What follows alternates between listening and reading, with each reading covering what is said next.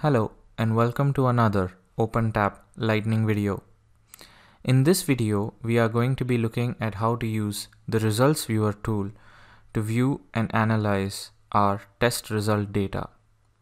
So let's get started. Results Viewer is a plugin that is available on the Community Edition of Pathwave Test Automation or as a licensed commercial product. It has capabilities for viewing your test result data. In the previous videos, we have seen how to generate and publish results from our test steps.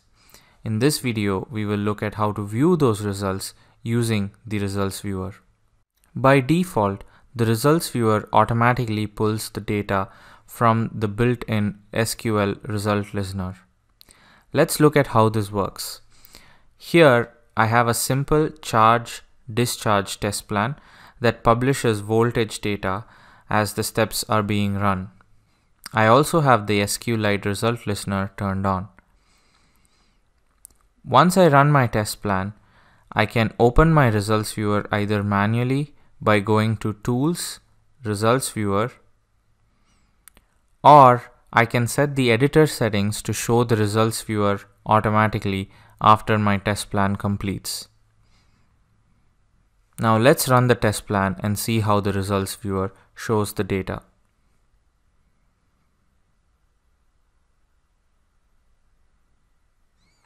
We have two result tables that are being published, one for charge and one for discharge. You can see how the results are shown in individual plots. The second way of getting data into the results viewer is by using the file import option.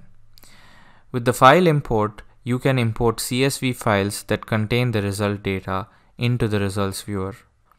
Next, let's look at some of the features of the results viewer. Here I have a signed result that's been published.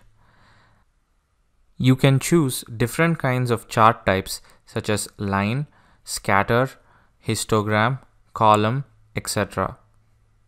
If there are multiple values, I can choose which set of values to pick on my x and y axis. It can also plot multiple sets of data on the y axis. This is useful if you want to overlay and compare values.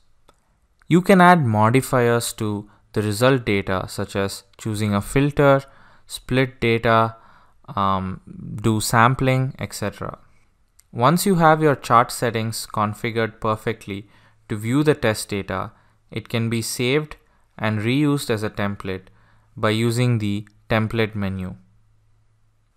A pro tip is if you save the template with the same name and location as your test plan, the results viewer will automatically use that template to show the data from future runs of that test plan.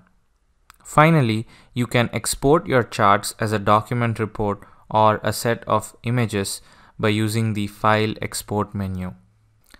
So in this video, we looked at the Results Viewer tool that is part of the Keysight Pathwave Test Automation set of plugins.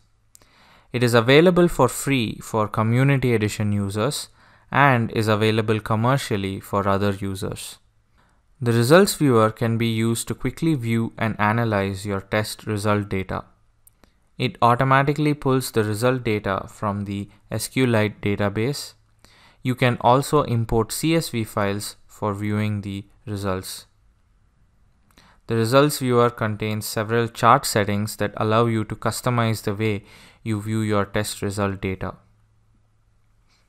In the next series, we will be talking about the process of deploying OpenTap plugins. Thanks for watching and stay tuned.